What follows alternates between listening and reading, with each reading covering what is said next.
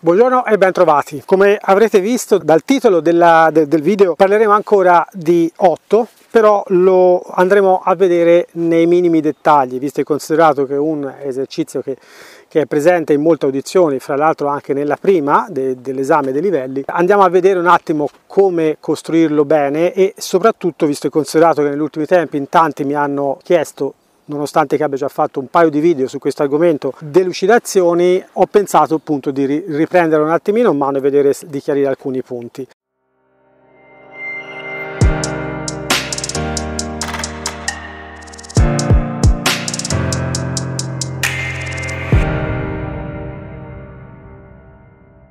L'altra cosa importante che c'è da dire della figura 8 è che proprio perché è costruita basandosi fondamentalmente su tutti e sette giochi, può essere anche utilizzata per fare un test prima di salire a cavallo.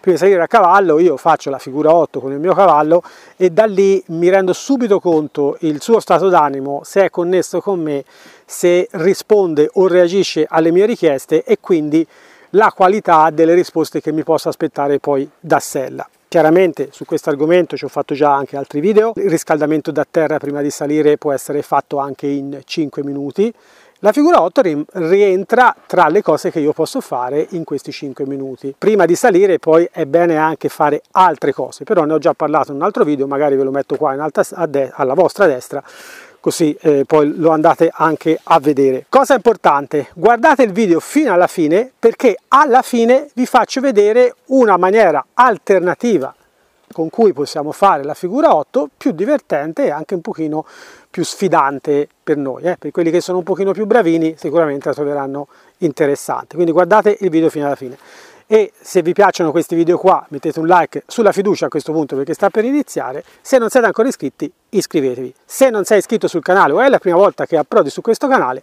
sappi che io mi chiamo Sergio Matteoni come avrà visto dal nome del canale e sono un istruttore Parelli certificato. Quello che noi facciamo vedere in questo canale qua è una miriade di cose. Parliamo di comunicazione con i cavalli. Comunicazione fatta ovviamente per raggiungere gli stessi livelli degli altri tipi di equitazione però noi usiamo l'equitazione naturale. Andiamo avanti. Abbiamo messo due marker che in questo caso sono due barili perché così si vedano meglio in video. Potete farlo anche con due eh, birilli due sedie du- qualcosa ok? Meglio se stanno fermi nel senso se non è qualcosa che se il cavallo sfiora cominciano a muoversi no mi sono messa anche due, baby, due, guanti belli arancioni, così vedete come mi muovo con le mani, cercherò di farlo comunque piano piano e di spiegarvi tutto nel dettaglio. La figura 8 diciamo, è una figura complessa perché all'interno abbiamo tutte e sette i giochi. Guardiamo un attimo quali sono. Io mi posiziono qui, allora, com'è che io mi devo posizionare? Questo ho notato che molte persone non l'hanno ancora ben chiaro, nonostante che facciano la figura 8, non hanno ben chiaro dove si devono mettere. Si devono mettere, come ad esempio in questo caso qua abbiamo i barili che sono a circa 4 metri di distanza l'uno dall'altro, la persona si deve mettere dalla parte di qua dei barili e il cavallo deve stare dalla parte di là dei barili, ok? E questo e la persona non andrà mai dalla parte di là, perché a volte ho visto persone che iniziano a fare l'otto, poi alla fine loro si ritrovano di là, il cavallo dalla parte di qua. No, questa è la, la mia zona, io posso arrivare al massimo fino qui, non posso andare oltre, ok? Altra cosa importante, nella figura 8 noi ci muoviamo prevalentemente avanti e dietro, ok? Andiamo avanti e indietro, avanti e indietro, quindi non andiamo a spasso, non andiamo di là, non andiamo di là, questo lo possiamo fare a un cavallo che giusto non sa fare niente le prime due o tre volte un po' per accompagnarlo, ma poi dobbiamo cominciare a capire che noi dobbiamo andare in su e in giù su questo binario. Il cavallo sta dalla parte di là quando parte, quanto sta dalla parte di là?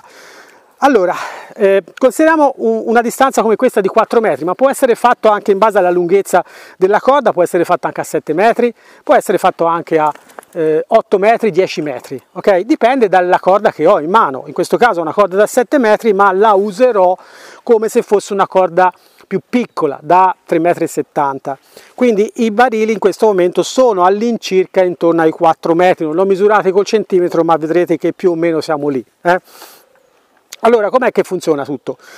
io mando il cavallo indietro, questo l'ho già fatto vedere anche in un altro video, abbastanza da poter, al momento che lo invio nel circolo, momento che, che venga più facile no? per il cavallo, perché più in là è, più mi viene facile mandarlo oltre questo marker, o questo marker a seconda da, do, da dove parto. Eh? Quindi cos'è che io ho fatto? Ho fatto yo-yo, ho fatto la prima parte dello yo-yo, che è il gioco numero 4, quindi vedete già che che abbiamo uno dei sette giochi qua nel mezzo, no? Quindi mando il cavallo ancora un pochino indietro per aiutarlo un po' a, a, a sbagliare meno. Ah, per chi non lo conoscesse, lui è Garion, eh? lui è un cavallo di una nostra amica che ci ha mandato qua eh, in attesa che arrivi anche lei per lavorare un po' su alcune cose. Eh? Cosa faccio a questo punto? Invio il cavallo, quindi faccio l'invio come nel circolo, ok? Quindi apro, posiziono la gamba ore 8, apro, indico, fase 1, 2, 3, mando il cavallo di là.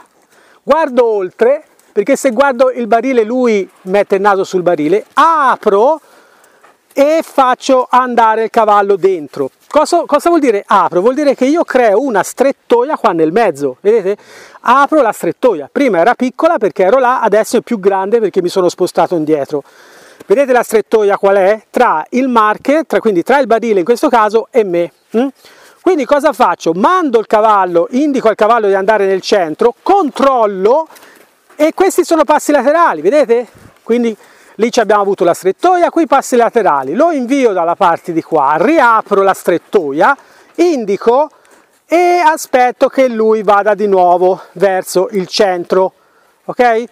lo accompagno, quando è che inizia a muovermi in avanti? Inizia a muovermi in avanti quando ho la sua spalla qui, non prima, perché altrimenti lo blocco, gli chiudo la, la porta in faccia della strettoia, apro la strettoia, indico verso il centro, chiedo al cavallo di spostare bene le spalle, se ho bisogno faccio passi laterali e lo rimando di nuovo qua.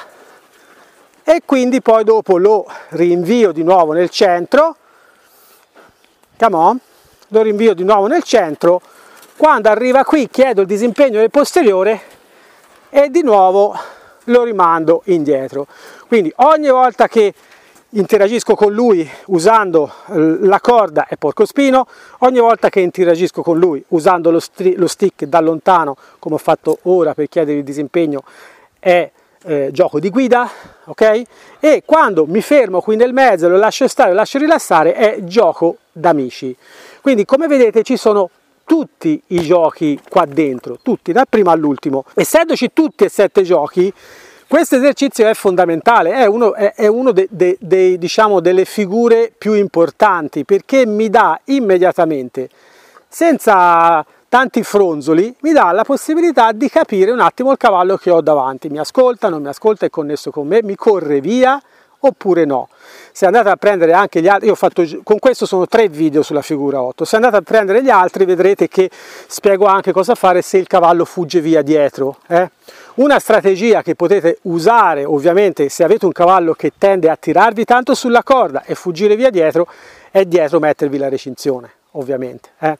Però queste sono tutte cose che rientrano nella gestione dei problemi, ma quello che mi interessava di farvi vedere è quanto è importante e quanto io posso capire semplicemente usando la figura 8 come test. La figura 8 è nel primo livello, eh. se vi portano un cavallo e vi dicono ah questo qui eh, sa leggere e scrive, chiedete la figura 8 e questo non la sa fare, gli dite ma questo sa leggere e scrive un tubo, sa leggere e scrive perché fi nella figura 8 c'è le risposte alle richieste di cessione alle pressioni di tutti i tipi, eh?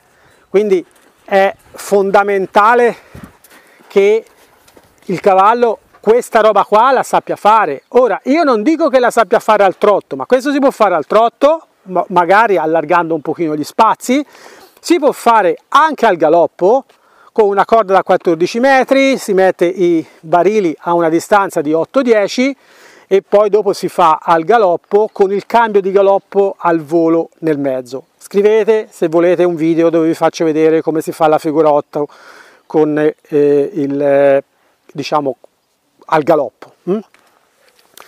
Quindi questo è l'ABC. Se non avete questo non avete il cavallo. Eh? Se non avete questo, non avete il cavallo. Da qui parte tutto.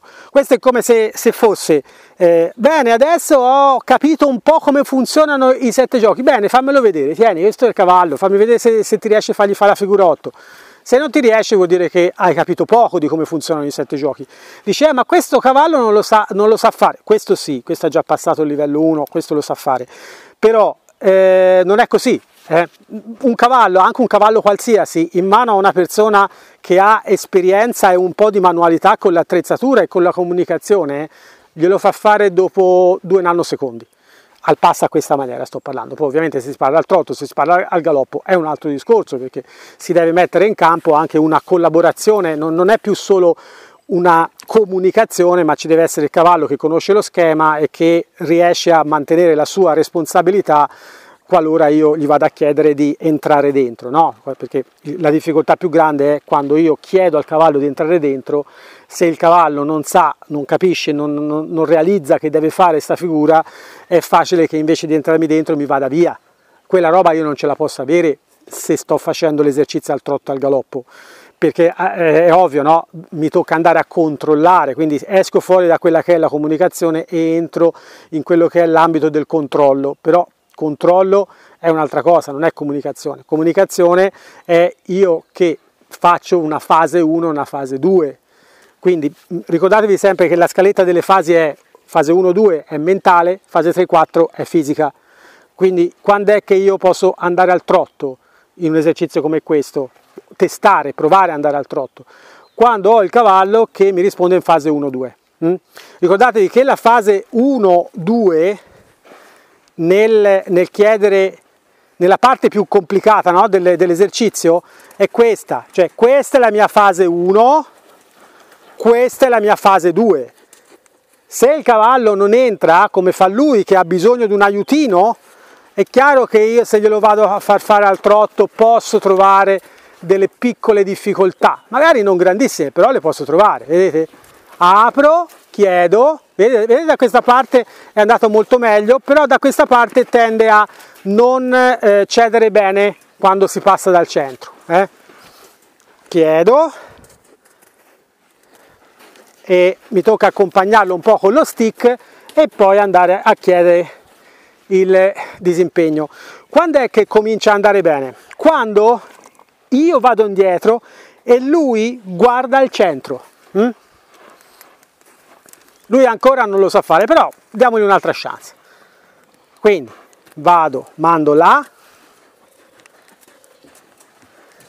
apro bene, indico e allora a questo punto mando là, usando corda, stick, tutto e lo fermo. Questo è il concetto di Happy Place che ho ripreso in quell'altro video che vi lascio qua in descrizione dove sempre sulla figura 8 spiego qual è la strategia dell'happy place da applicare in questo contesto per far sì che il cavallo desideri da matti andare là. Eh?